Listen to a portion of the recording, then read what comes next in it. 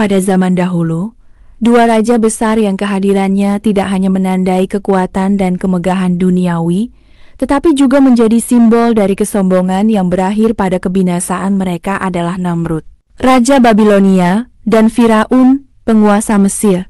Kedua raja ini tidak hanya dikenal karena luasnya wilayah kekuasaan mereka, tetapi juga karena klaim mereka yang paling kecil, yaitu bahwa mereka adalah Tuhan. Namun, kisah ini akan memusatkan perhatian pada Raja Namrud, penguasa Babilonia yang legendaris, sebuah kisah penuh dengan kesombongan dan akhirnya, ini adalah cerita tentang bagaimana kekuasaan yang melampaui batas akal pada kehancuran yang tak terhindarkan.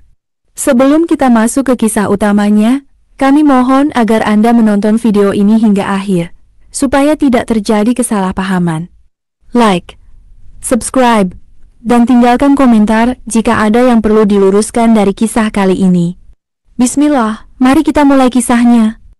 Setelah era kaum Ed dan Samud, peradaban manusia terus berkembang. Mereka terkenal dengan bangunan-bangunan tinggi yang menjulang, tak kalah dengan apa yang ditinggalkan kaum Ed dan Samud. Mereka adalah bangsa yang mewarisi kemampuan memahat batu, menciptakan bangunan raksasa, serta menyusun tata kota yang kompleks. Babilonia menjadi pusat kosmopolitan yang maju dalam berbagai aspek kehidupan, militer hingga peraturan sosial yang membentuk tatanan kehidupan yang sangat teratur. Dalam peradaban besar ini, lahir seorang tokoh legendaris yang di kemudian hari akan mengguncang sejarah dunia. Ia telah dikenal sebagai penguasa dari ujung timur hingga barat, seorang raja yang menyatukan bumi di bawah kekuasaannya dengan tangan besi.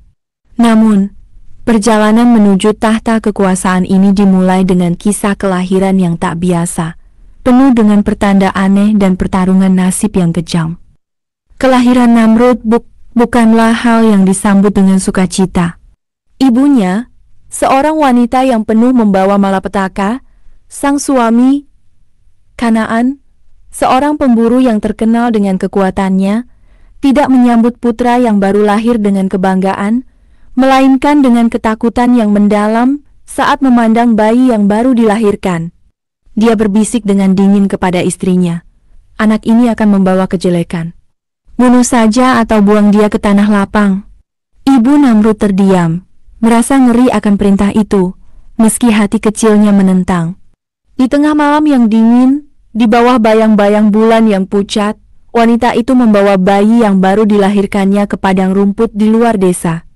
Di sana, di antara sapi-sapi yang sedang merumput, kecil hatinya berdebar-debar saat dia menoleh untuk terakhir kalinya, berharap bayi itu segera dilupakan alam dan menjadi bagian dari kematian yang sunyi. Namun, alam tampaknya menolak takdir yang ingin diatur oleh manusia. Sapi mendekati bayi itu tetapi binatang-binatang tersebut justru menjauh, seolah ketakutan oleh kehadiran sosok mungil yang baru datang ke dunia. Wanita itu berpaling dengan perasaan yang semakin gelisah. Tetapi, dia melangkah menjauh, yakin bahwa keputusannya sudah final.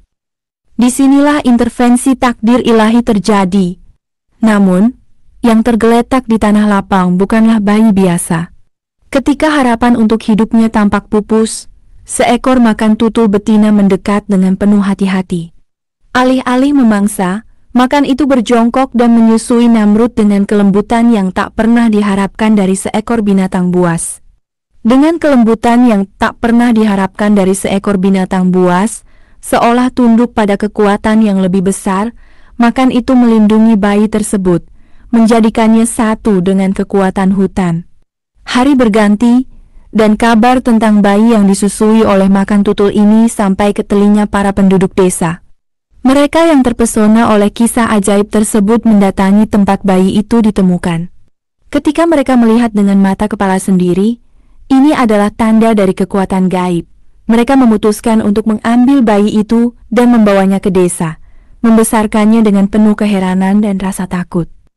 Waktu terus berjalan, dan Namrud tumbuh menjadi seorang anak muda yang kuat, penuh semangat, tetapi juga suka memberontak. Tak ada yang bisa mengekang sifat liarnya. Sejak usia dini, ia sudah menunjukkan keahliannya memimpin dan memanipulasi orang-orang di sekitarnya. dia menghimpun anak-anak muda lain untuk bergabung dengannya, menjadi kelompok pengacau yang sering kali membuat onar di jalanan. Keberanian dan harisma Namrud tidak hanya menarik pengikut, tetapi juga menebar ketakutan. Orang-orang dewasa di kampung mulai melihatnya bukan hanya sebagai pemimpin kelompok, ada yang semakin sulit dihentikan. Mereka berbicara di balik punggungnya, mengutuk namanya, tetapi tak ada yang berani menghadapi dia secara langsung. Akhirnya, sampai ke telinga kanan ayahnya yang telah lama tidak mengetahui nasib anaknya. Tidak ada yang tahu bahwa hubungan darah mengikat mereka, bahwa bocah yang kini terkenal karena kekacauan itu adalah anak kandungnya sendiri. Kanaan, yang melihat dirinya sebagai penguasa, tak terbantahkan, merasa terancam oleh reputasi Namrud yang terus berkembang. Ini harus dihentikan sebelum dia menghancurkan lebih banyak. Dalam kemarahan, dia memutuskan untuk mengumpulkan pasukannya dan menghadapi pengacau yang semakin berani itu. Pasukan Kanaan berbaris menuju tempat Namrud dan pengikutnya berkumpul di tengah padang luas. Kedua kelompok ini berhadapan. Namrud, yang belum tahu bahwa prajurit yang ia hadapi adalah ayahnya sendiri, mengangkat tangannya dengan tenang, memimpin pasukannya yang bersemangat. Ketika keadaan melihat sosok Namrud di kejauhan, ada sesuatu yang terasa familiar. Tapi amarahnya mengaburkan pikiran. Aku akan menghancurkan dia dengan tanganku sendiri. Pertempuran tak terhindarkan. Prajurit-prajurit Kanaan, meski lebih berpengalaman, mulai terdesak oleh keberanian dan keganasan kelompok Namrud. Seperti serigala yang lapar, mereka menghempaskan setiap musuh yang mendekatinya. Akhirnya, kedua pemimpin ini bertemu dalam satu pertarungan yang menentukan, bertarung dengan ganas, saling melempar serangan dengan kekuatan yang menakjubkan. Meski lebih tua, Kanaan masih sangat kuat, namun kemarahan membuat gerakannya lebih kasar dan tak teratur. Namrud, yang lebih muda dan lincah, menyerang dengan ketenangan. Dalam satu tebasan cepat, Namrud berhasil menebaskan pedangnya ke arah kanan Kanaan. Suara pedang yang menembus daging terdengar mengerikan.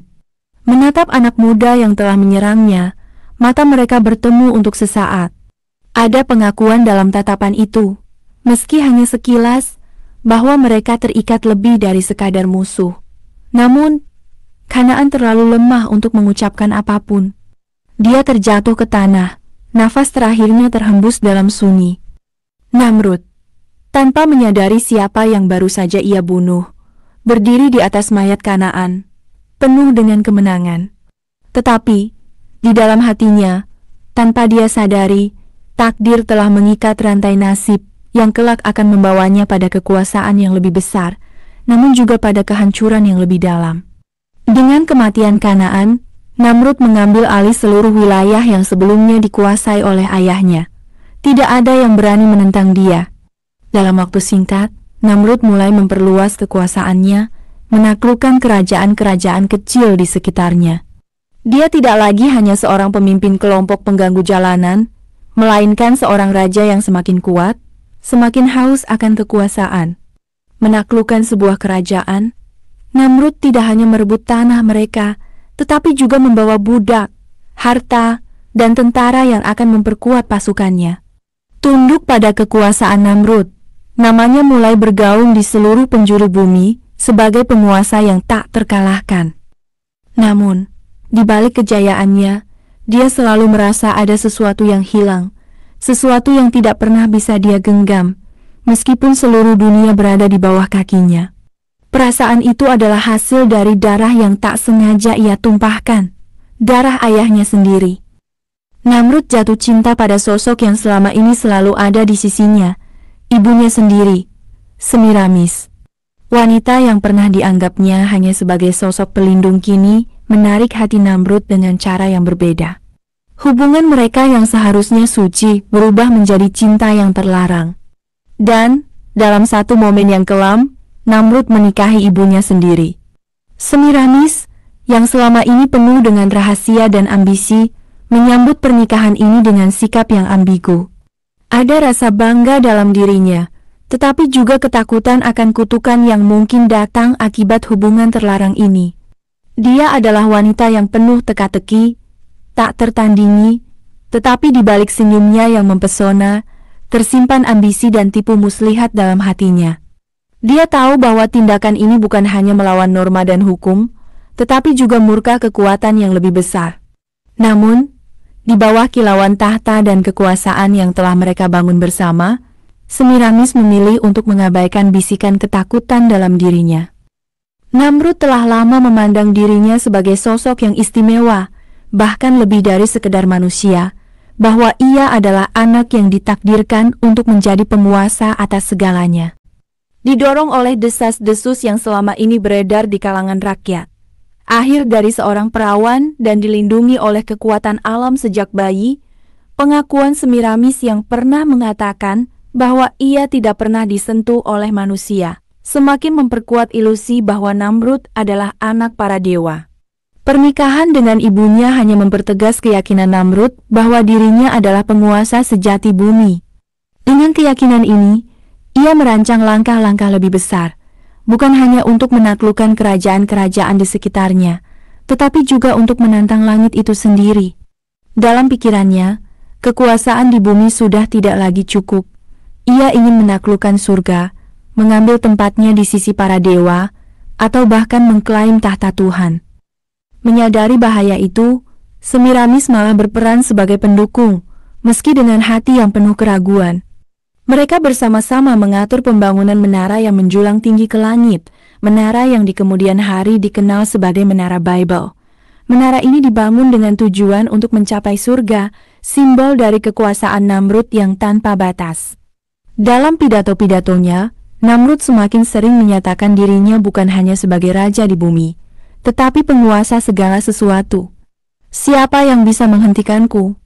Seluruh bumi, bahkan langit akan aku taklukkan. Aku akan menjadi lebih besar dari siapa pun, lebih besar dari Tuhan yang kalian sembah.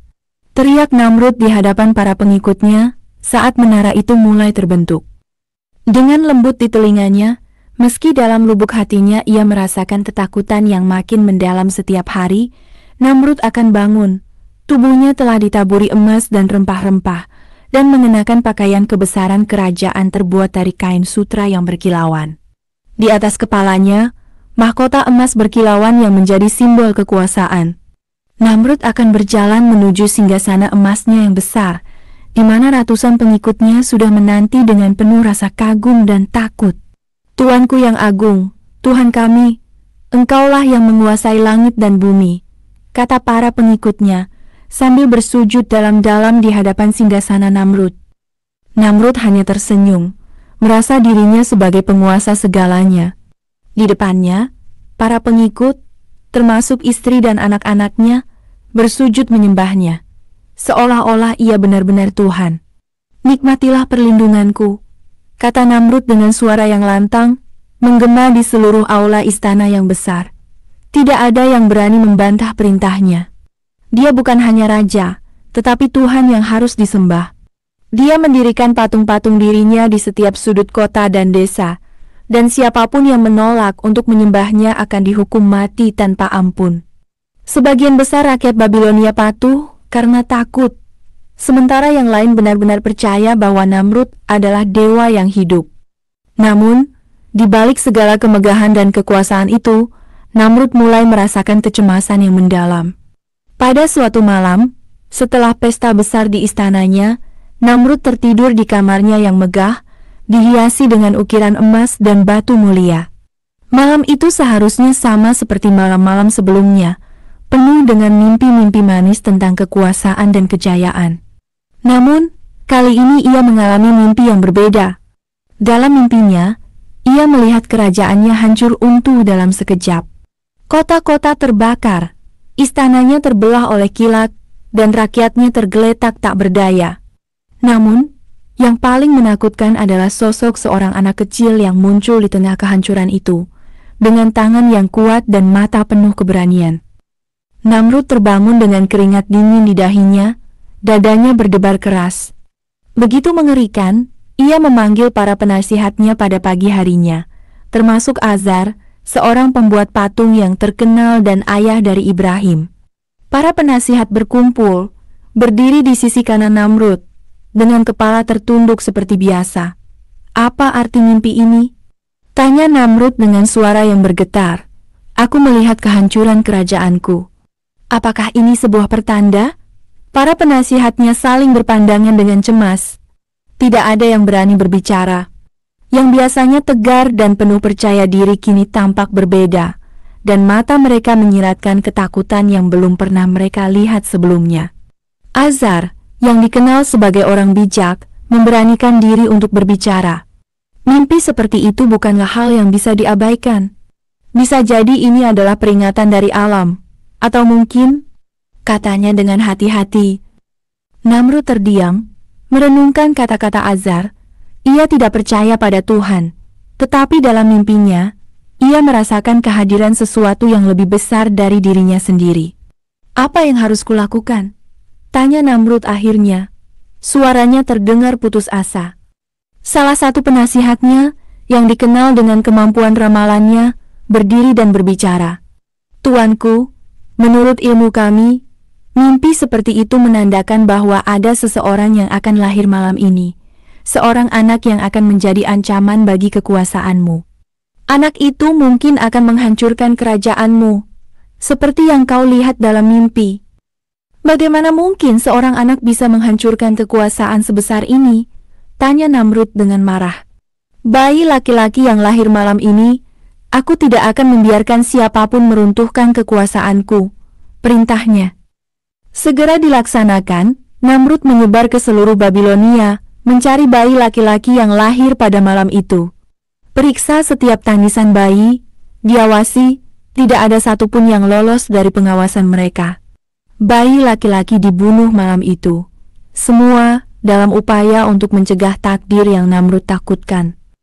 Tidak jauh dari istana, di sebuah rumah kecil yang tersembunyi di balik bukit-bukit Babilonia, seorang bayi laki-laki lahir. Ia adalah Ibrahim, yang kelak akan menjadi nabi besar dan penantang kesombongan Namrud.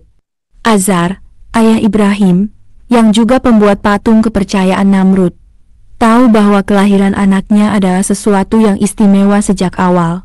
Azar sudah merasa bahwa anaknya berbeda, namun ia menyembunyikan kelahiran Ibrahim dari Namrud dan para prajuritnya. Nabi Ibrahim alaihi salam tumbuh dalam keheningan, jauh dari perhatian dunia, sampai saatnya tiba untuk menantang raja yang sombong itu. Pada malam itu, perintah Namrud segera dilaksanakan dengan kekejaman yang tidak terhingga. Para prajurit kerajaan bersenjatakan pedang dan tombak, menggeledah setiap rumah di Babilonia. Bayi-bayi laki-laki yang baru saja lahir dibunuh tanpa ampun. Jeritan para ibu yang kehilangan anak-anak mereka menggema di seluruh penjuru kota, menciptakan suasana penuh kengerian dan kepanikan. Namun, di tengah kebun awan itu, ada satu rumah yang terselamatkan. Rumah Azar, ayah Nabi Ibrahim alaihi salam. Di dalam rumah itu, dalam kegelisahan yang mendalam, Azar berlari masuk ke kamar istrinya. Wajah istrinya yang sedang menimbang bayi laki-laki yang baru lahir penuh kekhawatiran. Azar, ada apa? Tanya istrinya. Suaranya bergetar. Azar terdiam, menelan ludah. Namrud telah memerintahkan untuk membunuh semua bayi laki-laki yang lahir malam ini. Kita harus menyelamatkan anak kita, kata Azar. Mendengar kabar mengerikan itu, ia mendekap bayinya dengan erat. Air mata mulai mengalir di pipinya. Apa yang harus kita lakukan? Ke mana kita harus pergi? Namun, tegas Azar menjawab, kita harus membawanya ke hutan yang jauh dari sini. Kita harus menyembunyikannya di tempat yang tidak pernah terjangkau oleh Namrud dan para prajuritnya. Azar kemudian membawa istri dan bayinya ke sebuah gua yang terletak jauh di luar kota Babilonia di tempat yang terpencil dan tidak diketahui orang banyak. Di dalam gua itu, bayi laki-laki mereka tumbuh dengan perlindungan Allah Subhanahu wa Ta'ala. Nabi Ibrahim alaihi salam dibesarkan di sana, jauh dari pandangan penguasa Tira Namrud. Sementara itu, bayi-bayi laki-laki lainnya tewas di tangan para algojo yang kejam. Namun, takdir Nabi Ibrahim alaihi salam sudah ditentukan oleh Allah Subhanahu wa Ta'ala untuk menjalankan misi kenabian. Tahun demi tahun berlalu, dan Nabi Ibrahim alaihi salam semakin dewasa di dalam hutan yang sunyi. Dia belajar dari alam sekitar dan dari petunjuk-petunjuk yang Allah subhanahu wa ta'ala berikan kepadanya. Dia menyaksikan bintang-bintang di langit, matahari yang terbit dan tenggelam, bulan yang bercahaya di malam hari, dan dia mulai merenungkan tentang penciptaan alam semesta. Hatinya mulai dipenuhi dengan keyakinan bahwa semua ini tidak mungkin diciptakan oleh berhala-berhala kat, dan Nabi Ibrahim alaihi salam merasa terpanggil untuk memberitahukan kebenaran ini kepada orang-orang. Ketika Nabi Ibrahim alaihi salam menerima wahyu, ia tidak menunda-nunda untuk menjalankan tugas kenabiannya. Tanpa ragu, ia memasuki kota Babilonia dan langsung menuju kuil besar yang menjadi pusat pemujaan dengan patung-patung raksasa yang mewakili berbagai dewa yang disembah oleh masyarakat, termasuk patung Raja Namrud yang berdiri megah di tengah-tengah ruangan. Hari itu, malam tiba. Suasana kuil semakin ramai dengan para penyembah yang datang membawa sesajen untuk dipersembahkan kepada patung-patung yang dianggap paling dekat dengan para dewa. Mereka mengawasi sesajen yang diletakkan oleh masyarakat di altar tertinggi. Setiap Orang yang datang sujud dengan penuh ketakutan, takut akan murka para berhala jika mereka tidak memberikan persembahan yang cukup. Dengan penuh keyakinan, Nabi Ibrahim alaihi salam memasuki kuil tersebut. Tidak seorang pun mengenalnya karena ia berasal dari luar Babilonia, namun kehadirannya segera menarik perhatian. Dengan langkah pasti, Nabi Ibrahim alaihi salam mendekati patung-patung besar itu anggap mustahil oleh penduduk Babilonia. Mereka percaya bahwa mendekati patung saja bisa mendatangkan kutukan, apalagi menyentuhnya. Namun, Nabi Ibrahim terus berjalan mendekat. Matanya fokus pada altar di mana sesajen-sesajen diletakkan. Tanpa ragu, Nabi Ibrahim alaihi salam mengambil sebuah apel yang telah disajikan di depan. Tidak percaya bahwa ada seseorang yang berani mengambil sajian itu. Namun Nabi Ibrahim tidak berhenti di situ. Ia menggigit apel tersebut, dan sambil mengunyah ia menatap patung-patung dengan tatapan penuh tantangan. Anggap Tuhan oleh masyarakat Babilonia, seru Nabi Ibrahim alaihissalam dengan suara lantang. Aku telah mengambil apelmu. Apakah engkau tidak marah? Menyelimuti kuil, patung itu tentu saja tidak merespons. Nabi Ibrahim alaihissalam mengulangi lagi dengan suara yang lebih keras. Wahai yang dianggap Tuhan oleh masyarakat Babilonia, aku telah memakan apelmu. Mengapa kau tidak marah? Sekali lagi, tidak ada respon dari patung itu. Para penyembah mulai saling berpandangan dengan penuh kebingungan dan ketakutan. Mereka telah hidup dengan keyakinan bahwa patung-patung ini memiliki kekuatan ilahi, tetapi mengapa mereka tidak menunjukkan kemarahan? Untuk ketiga kalinya, Nabi Ibrahim alaihi salam menghadap patung besar itu dan berseru, Wahai yang dianggap Tuhan oleh masyarakat Babilonia, aku telah mengambil dan memakan sesajenmu. Mengapa kau diam saja? Namun, patung itu tetap bisu, tidak mampu melakukan apa pun. Pada titik ini, para penyembah mulai merasa gelisah. Kepercayaan mereka mulai goyah, tetapi mereka belum berani mengungkapkan keraguan mereka. Setelah memuji dewa-dewa palsu dengan cara melempar apel ke wajah patung-patung, Nabi Ibrahim alaihi salam menunjukkan kepada orang Babilonia bahwa patung-patung itu tidak mampu bereaksi meskipun dihina. Mereka mulai ragu, tapi ketakutan masih menguasai hati mereka. Salam tidak terhenti hanya dengan tindakan tersebut. Masyarakat Babilonia. Wahai Tuhan-Tuhan yang kalian sembah, kalian tidak layak disembah jika hanya diam tak berdaya. Tuhan sejati adalah Allah Subhanahu wa Ta'ala yang menciptakan langit dan bumi. Dengan kata-kata itu, Nabi Ibrahim alaihi salam mulai merencanakan tindakan lebih besar untuk menggoyahkan keyakinan mereka. Setelah meninggalkan kuil, Nabi Ibrahim alaihi salam kembali dengan membawa sebuah kapak besar. Malam itu, saat kuil sepi dan hanya dijaga oleh seorang penjaga, Nabi Ibrahim alaihi salam menghancurkan patung-patung kecil satu persatu. Kepala dan tangan patung-patung itu dipotong dan dilempar ke lantai, meninggalkan pemandangan yang tak terbayangkan. Namun, Nabi Ibrahim alaihi salam menyisakan satu patung, patung terbesar yang merupakan patung Raja Namrud yang dianggap sebagai Tuhan oleh rakyat Babilonia. Dengan cerdik, Nabi Ibrahim alaihi salam menaruh kampaknya di tangan patung Raja Namrud. Seolah-olah patung itu yang bertanggung jawab atas kehancuran patung-patung lainnya. Setelah tindakannya, Nabi Ibrahim alaihi salam pergi dengan tenang meninggalkan kuil. Keesokan paginya, masyarakat Babilonia datang ke kuil seperti biasa, tetapi mereka terkejut melihat pemandangan yang porak-poranda. Patung-patung yang mereka sembah hancur berserakan. Hanya menyisakan patung Raja Namrud yang berdiri dengan kampak di tangannya. Siapa yang melakukan ini? Teriak mereka dengan marah. Menjaga kuil yang menyaksikan kejadian malam itu, mereka segera memanggil Nabi Ibrahim untuk dihadapkan kepada mereka. Ketika Nabi Ibrahim tiba, mereka menuntut jawaban. Apakah engkau yang menghancurkan Tuhan-Tuhan kami? Dengan tenang, Nabi Ibrahim alaihissalam menjawab, Lihatlah, siapa yang memegang kampak itu? Tanyakan pada patung besar itu, Mungkin dia yang menghancurkan patung-patung lain. Kalau dia bisa berbicara, tentu dia akan menjawab. Orang-orang Babilonia tertegun mendengar jawaban Nabi Ibrahim. Beberapa mulai berpikir bahwa mungkin memang benar patung-patung ini hanyalah buatan manusia yang tidak bisa apa-apa. Namun sebagian lain tetap terjebak dalam keyakinan mereka. Di antara sebagian masyarakat Babilonia, Beberapa orang yang masih keras kepala memutuskan untuk melapor kepada raja mereka, Raja Namrud. Mereka merasa bahwa tindakan Nabi Ibrahim adalah penghinaan besar dan harus dihukum.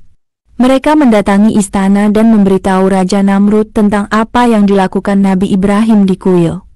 Raja Namrud, yang selama ini dianggap sebagai Tuhan oleh rakyatnya, merasa terancam. Dia tahu bahwa tindakan Nabi Ibrahim adalah ancaman langsung terhadap kekuasaannya dan otoritasnya sebagai dewa. Dia memerintahkan agar Nabi Ibrahim alaihissalam dibawa ke istananya untuk diadili. Nabi Ibrahim alaihissalam, yang sudah siap menghadapi konsekuensi dari tindakannya, berkata kepada para utusan Raja Namrud, Tidak perlu kalian melapor kepada rajamu, aku akan datang sendiri ke istana. Pagi itu, Nabi Ibrahim dengan penuh keberanian berjalan menuju istana Raja Namrud. Tempat raja duduk di singgasananya, dikelilingi oleh rakyat yang selalu menyembahnya dan memohon bantuan darinya setiap hari. Istana penuh dengan orang-orang yang meminta makan, perlindungan, atau kekayaan dari Raja Namrud, menganggapnya sebagai dewa yang mampu memenuhi segala kebutuhan mereka. Namun, hari itu akan berbeda. Nabi Ibrahim alaihi salam datang bukan untuk memohon, melainkan untuk menghadapi Raja Namrud dengan kebenaran yang hakiki. Ketika dia tiba di hadapan Raja Namrud, semua mata tertuju padanya. Ada ketegangan di udara saat Nabi Ibrahim alaihissalam berdiri tegak di depan raja yang mengklaim dirinya sebagai Tuhan. Menatap Nabi Ibrahim dengan tajam, Raja Namrud berkata, berani menghina Tuhan-Tuhan kami dan menantangku di hadapan rakyatku. Nabi Ibrahim alaihi salam dengan tegas menjawab, Aku adalah utusan Allah subhanahu wa ta'ala, pencipta langit dan bumi. Datang untuk menunjukkan kepada kalian bahwa apa yang kalian sembah hanyalah patung-patung tak berdaya. Tuhan kalian, termasuk dirimu Namrud, tidak layak disembah. Suasana aula menjadi hening. Raja Namrud, Meskipun tersinggung, menahan emosinya. Dia tahu bahwa jika dia menunjukkan kelemahan, wibawanya sebagai Tuhan akan runtuh di depan rakyatnya. Maka dengan sombongnya dia menjawab, Kau bilang Tuhanmu bisa menghidupkan dan mematikan. Aku juga bisa melakukannya. Nabi Ibrahim alaihi salam menantang Raja Namrud. Buktikanlah jika kau memang bisa. Raja Namrud kemudian memerintahkan dua orang prajuritnya untuk menangkap dua laki-laki yang kebetulan melintas di luar istana. Di hadapan semua orang, Raja Namrud membunuh salah satu dari mereka dan membiarkan yang lainnya pergi sambil berkata dengan angkuh, Lihat, aku membunuh satu dan membiarkan yang lain hidup. Aku bisa mematikan dan menghidupkan. Nabi Ibrahim menatap Raja Namrud dengan penuh keyakinan dan berkata, itu hanyalah tipu daya manusia. Kau tidak menghidupkan siapa pun. Kau hanya membiarkan orang yang sudah hidup, tetapi hidup. Namun, Allah subhanahu wa ta'ala, Tuhan yang sebenarnya adalah yang menghidupkan dan mematikan dengan kuasanya. Nabi Ibrahim memberikan tantangan lain yang tidak bisa dibantah.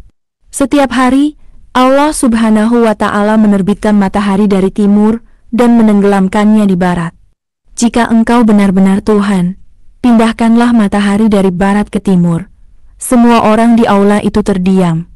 Raja Namrud tertegun, tak mampu membalas tantangan ini.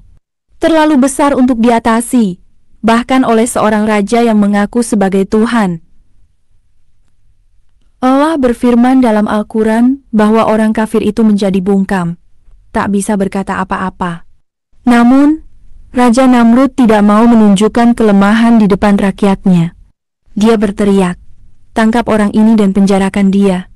Aku akan membunuhnya dengan cara yang paling menyakitkan supaya tak ada lagi yang berani menentangku. Para penasihatnya berkumpul untuk memutuskan hukuman apa yang paling kejam bagi Nabi Ibrahim. Mereka bermusyawarah dan akhirnya memutuskan bahwa cara paling menyakitkan untuk mati adalah dengan dibakar hidup-hidup. Namun, dia tidak mau sekadar membuat api kecil. Dia ingin menunjukkan kekuatannya dengan membuat api yang besar, setinggi istananya, untuk membakar Nabi Ibrahim. Raja Namrud memerintahkan untuk membuat tumpukan kayu setinggi beberapa meter. Biaya besar dikeluarkan, tenaga yang banyak dikerahkan, dan tumpukan kayu yang sangat tinggi dibuat. Api dibesarkan, menjelang tinggi hingga tampak seperti menyentuh langit. Ini bukanlah api biasa, tapi api yang dirancang untuk membakar ribuan orang. Namun, kali ini semua itu hanya untuk satu orang, yaitu Nabi Ibrahim. Seluruh masyarakat memandang dengan penuh ketakutan dan rasa ingin tahu. Mereka semua ingin melihat bagaimana Raja Namrud yang mengaku sebagai Tuhan akan membakar Nabi Ibrahim, orang yang telah berani menentangnya. Ketika Nabi Ibrahim alaihi salam siap dilemparkan ke dalam api besar yang telah dinyalakan oleh Raja Namrud dan seluruh pasukannya, masyarakat Babilonia berkumpul dengan penuh penasaran. Mereka ingin menyaksikan bagaimana Nabi Ibrahim, yang dengan berani menentang ketuhanan Raja Namrud, akan dihabisi oleh api. Namun, di tengah keramaian dan kebencian yang membara, malaikat Jibril tiba dengan perintah dari Allah Subhanahu wa Ta'ala untuk menawarkan bantuan kepada Nabi Ibrahim. Malaikat Jibril berkata, "Wahai Ibrahim, Allah telah memutusku. Jika kau ingin, Aku bisa memadamkan api ini atau membunuh Raja Namrud sekarang juga. Apa yang kau inginkan? Nabi Ibrahim, dengan keyakinan penuh kepada Allah subhanahu wa ta'ala, menjawab dengan tenang kepada malaikat Jibril, Aku tidak butuh apa-apa, tapi kepada Allah subhanahu wa ta'ala aku akan meminta. Begitulah keyakinan Nabi Ibrahim alaihi salam yang tak tergoyahkan. Dia memanjatkan doa yang penuh keyakinan. Ya Allah, Engkaulah yang aku imani, meski tak kasat mata, ku yakin engkau yang menciptakan segalanya, termasuk api ini. Jadikanlah api ini dingin dan keselamatan bagiku. Allah subhanahu wa ta'ala pun memberikan perintah dari langit, Wahai api, jadilah dingin dan keselamatan bagi Ibrahim. Begitu Nabi Ibrahim alaihissalam jatuh ke dalam tungku besar itu, bukannya merasakan panas membara, dia malah berada dalam keadaan sejuk dan aman, seolah sedang duduk di taman yang indah. Ia bahkan melihat makanan dan suasana nyaman di sekitarnya. Orang-orang yang menyaksikan dari luar tidak mendengar jeritan atau mereka terdiam, penuh keheranan. Penuh dendam, berusaha menenangkan rakyatnya dengan berkata, Ibrahim sudah terkena api dari kekuatanku. Namun, Nabi Ibrahim masih bergerak di dalam api. Sesuai instruksi malaikat Jibril, gerakan sederhana dari Nabi Ibrahim ini membuat Raja Namrud dan rakyat Babilonia terdiam. Tidak mungkin manusia, sekuat apa pun, tidak menjerit atau terbakar habis di dalam api. Untuk memastikan kematian Nabi Ibrahim alaihissalam, Raja Namrud memerintahkan agar api tetap menyala selama tiga hari. Selama tiga hari penuh, Tungku raksasa itu terus dijaga oleh pasukan elitnya, memastikan jika Nabi Ibrahim mencoba melarikan diri, mereka akan mendorongnya kembali ke dalam api. Keyakinan rajanya Menurut bahwa tidak ada yang bisa bertahan hidup di dalam api sebesar itu, semakin memperkuat egonya sebagai Tuhan yang tak terkalahkan. Namun, setelah tiga hari berlalu, api akhirnya dipadamkan. Raja Namrud memerintahkan seluruh rakyat Babilonia untuk berkumpul kembali, bersiap melihat debu Nabi Ibrahim yang dianggap sudah pasti terlihat. Nabi Ibrahim alaihi salam duduk dengan tenang di tengah-tengah bekas api yang telah padam. Tidak ada luka sedikit pun di tubuhnya. Bahkan, dia terlihat seperti sedang menikmati suasana taman yang damai. Bahkan, dia terlihat seperti sedang menikmati suasana hati yang hancur. Setelah peristiwa memalukan di hadapan rakyatnya, di mana api yang dinyalakan untuk membakar Nabi Ibrahim alaihissalam malah berubah menjadi tempat yang sejuk bagi sang nabi. Kegagalannya mempertahankan citra sebagai pemuasa yang tak terkalahkan menjadi pukulan telak bagi ego dan reputasinya. Raja Namrud berusaha tegar di hadapan rakyatnya, tapi di dalam hati ia tahu semuanya telah berakhir. Langkah kakinya terasa berat ketika memasuki gerbang istana. Para penjaga yang biasanya menuk penuh hormat kini meliriknya dengan tatapan was-was, seolah-olah mereka tahu ada yang berubah pada sang raja. Perut yang biasanya dipenuhi dengan percaya diri dan kesombongan kini tampak seperti bayangan dirinya yang dulu. Malam itu, ketika ia duduk di atas singgasana emasnya, dikelilingi oleh permadani mewah dan patung-patung dewa yang biasa ia sembah, tak ada satupun yang memberinya ketenangan. Kekuasaan, harta, dan kemegahan istananya ini tampak hampa. Raja Namrud tidak bisa berhenti memikirkan Nabi Ibrahim. Bagaimana mungkin seorang manusia sederhana yang hanya bersandar pada keimanan kepada Tuhannya bisa bertahan dari api sebesar itu? Tapi, yang seharusnya melahapnya dalam sekejap kini malah menjadi bukti nyata bahwa kekuatan Allah Subhanahu wa Ta'ala di luar jangkauan manusia. Bukan raja, malam itu Raja Namrud mencoba tidur, tapi rasa takut dan malu terus mengganggunya. Setiap kali ia memejamkan mata, Bayangan Nabi Ibrahim yang berdiri tegak di dalam api muncul, seolah-olah menantang seluruh kepercayaan dan keyakinan Raja Namrud. Suara api yang bergerak seakan menggaung di telinganya, tapi bukan karena membakar, melainkan karena kehinaan yang dia rasakan. Keesokan harinya, sesuatu yang tak terduga terjadi. Raja Namrud bangun dengan perasaan yang lebih gelisah daripada sebelumnya. Ia memanggil para penasehatnya berharap mereka bisa menenangkan pikirannya. Tapi tak ada satupun dari mereka yang berani menatapnya langsung, seolah-olah mereka semua takut mengatakan yang sebenarnya, bahwa kekuasaannya telah rapuh. Saat Raja Namrud mencoba berbicara, tiba-tiba ia merasa ada sesuatu yang masuk ke dalam hidungnya. Dia terkejut dan langsung menyingkirkan tangannya, berpikir itu hanyalah serangga biasa. Namun, dalam beberapa saat, rasa gatal itu berubah menjadi sensasi yang aneh. Seekor lalat kecil yang tampak tak berarti ternyata telah menyusup ke dalam hidung Raja Namrud.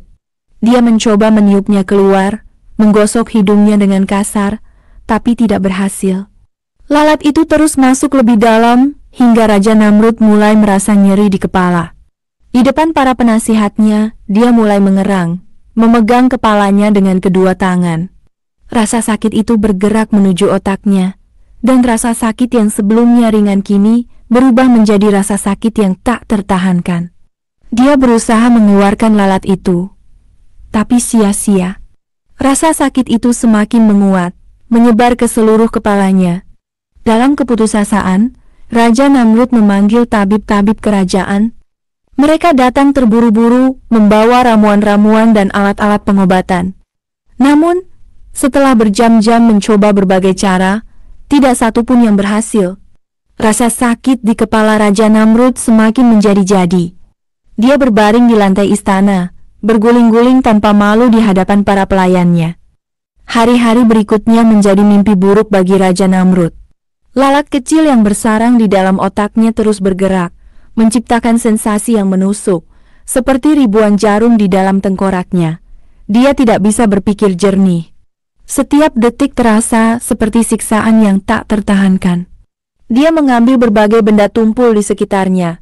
Tongkat kayu, guci, batu, bahkan sisi meja, dan memukul-mukul kepalanya dengan harapan bisa mengusir lalat tersebut keluar. Pukulan demi pukulan menghantam kepalanya, meninggalkan memar dan luka. Para penjaga dan pelayan yang menyaksikan hanya bisa terpana, takut mendekat karena raja mereka terlihat semakin gila. Suara benturan yang dihasilkan oleh benda-benda tumpul itu menggemakan rasa putus asa dan stres Raja Namrud. Namun, semua usahanya sia-sia. Lalat kecil itu tetap berada di dalam kepalanya, membuat rasa sakit semakin menjadi-jadi. Raja Namrud terus memukuli dirinya sendiri, seolah-olah bisa mengeluarkan lalat itu dengan kekerasan. Tapi semakin keras ia memukul, semakin dalam rasa sakit yang dirasakannya.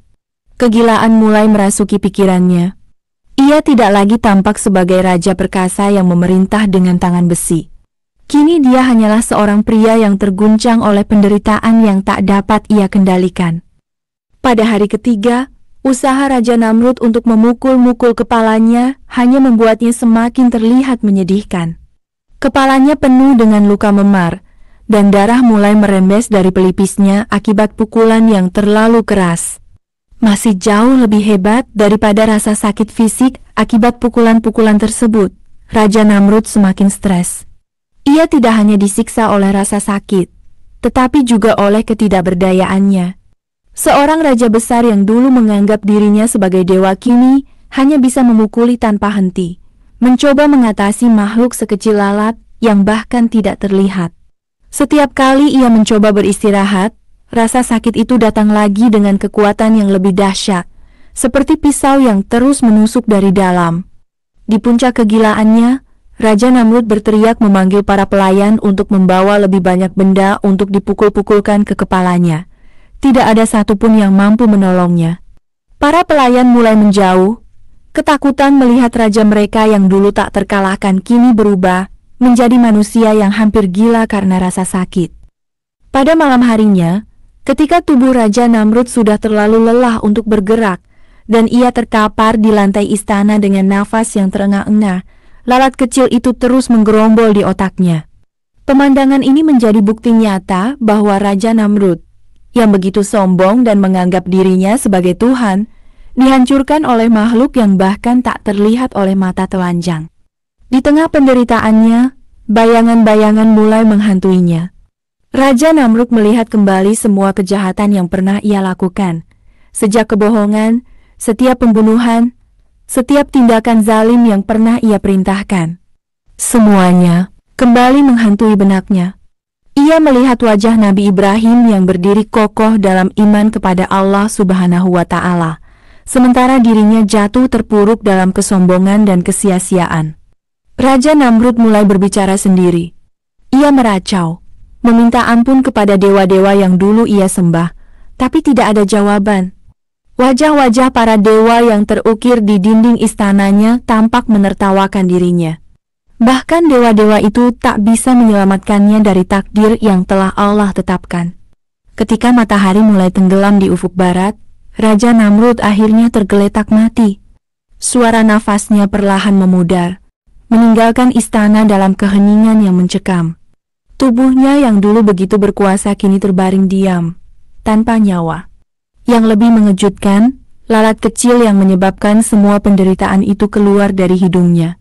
Pemandangan itu membuat semua orang yang menyaksikan terpana.